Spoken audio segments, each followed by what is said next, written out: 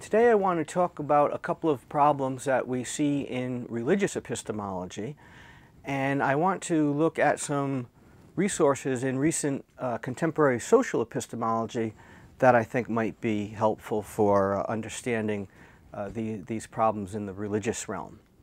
So in part one of the lecture, I want to briefly consider two problems that we find in the epistemology of religion.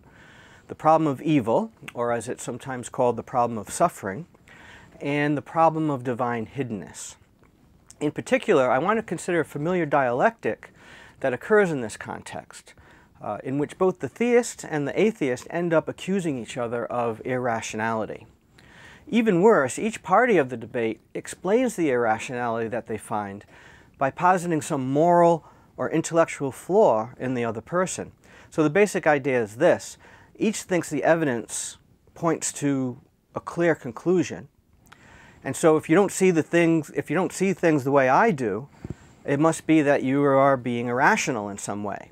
It must be that due to some intellectual flaw, uh, you are failing to respect the evidence, for example, or maybe it's that due to some moral flaw, uh, you see the evidence but you're resisting it.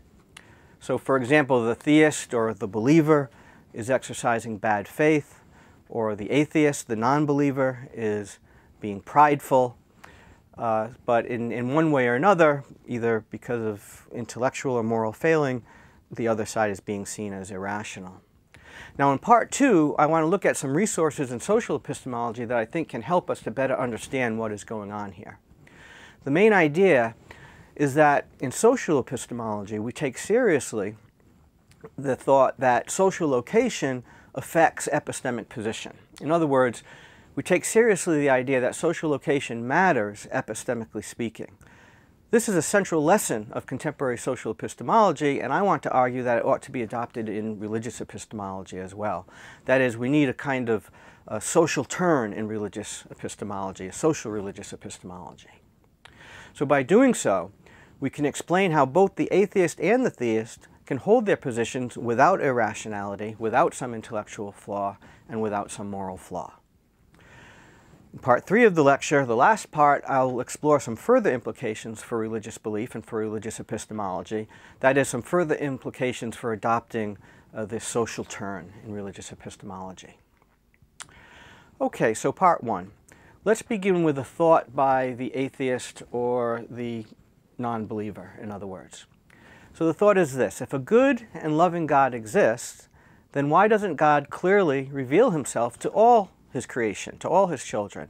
Why don't I have clear evidence of God in my life? So for example, why don't I experience God in my life the way some other people claim to do? So more exactly, we can think in terms of uh, a kind of argument or line of reasoning. The first premise is that if God exists, then he is all loving, and so he wills to be in a loving relationship with all his children. That's the first idea. The second idea is that if God exists, then he's all powerful, and so he does what he wills and does what is necessary to do for what he wills. And so then we get the third idea that to, to be in a loving relationship with another person, this is what God wills, one must reveal oneself to that person. One must allow that person to know him or her. But then putting those ideas together, we get, therefore, if God exists, he should reveal himself to all persons but he doesn't. I don't experience God in my life. Not everyone experiences God in their lives, and so it seems that there must not be such a God at all. There is no God that's all, live, all loving, wants this relationship, and has the power to uh, create that relationship and foster that relationship. So now to, notice that there's a structural analogy here with this argument and with the problem of evil, the problem of suffering. So the, the way that the, the, the problem of evil usually starts off is with the premise to the effect that, well, look, if God exists, and if he is all loving and all powerful, then why does he allow evil and suffering to occur in the world?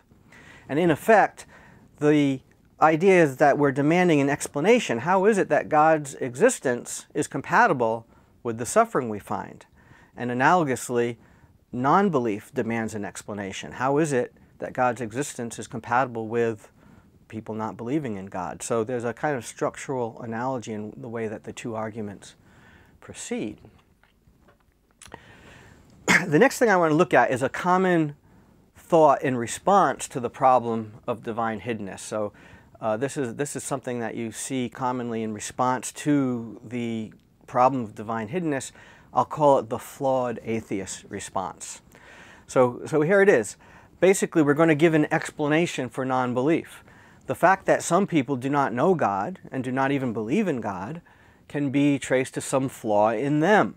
That is, God does reveal himself to all, or at least God tries to reveal himself to all, but some people resist.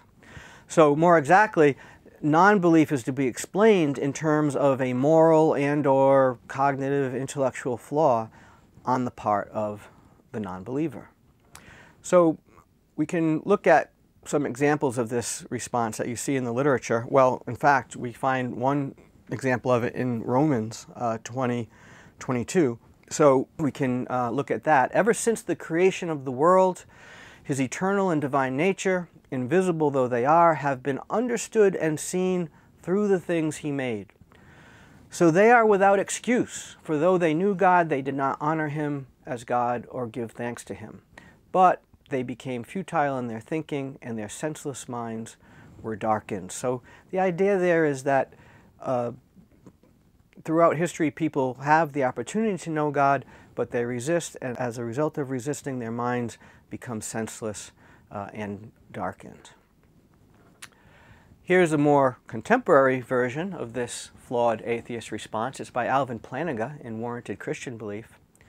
Plantinga writes, according to the Aquinas-Calvin model, our natural knowledge of God has been compromised, weakened, reduced, smothered, overlaid, or impeded by sin and its consequences.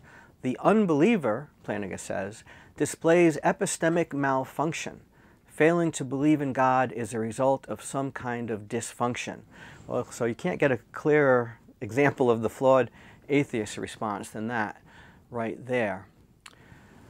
Now consider two ways of thinking that are each familiar both in the philosophical literature and maybe even in just contemporary public discourse.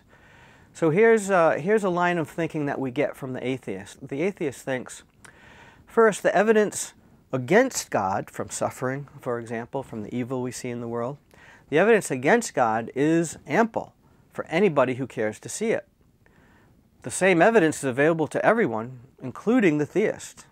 Therefore, the theist must be either ignoring or misevaluating the available evidence. On the other hand, the theist thinks the evidence for God from experience, for example, is ample, and anyone who cares to see it can see it. Second, the same evidence is available to everyone, including the atheist, and therefore the atheist must be resisting the evidence. So in the next part of the lecture, I want to challenge the common premise that we see in these two lines of reasoning. In other words, that believers and atheists share the same evidence. That's the common premise too in both arguments. So again, a key point in the argument in the, the next section will be that the believer and the atheist inhabit different social locations and social location affects epistemic position. This in turn explains how both the atheist and the theist can hold their positions without rational flaw, without intellectual or moral flaw. So part two is devoted to establishing that key point. And again, we are here exploring a central lesson of contemporary social epistemology and one that I think ought to be adopted by religious epistemology as well. In effect, we need a kind of social turn in religious epistemology, and so that's what I'll be arguing for the way I'm arguing for that is to show how we can make progress on these, these problems that we've been thinking about in part one.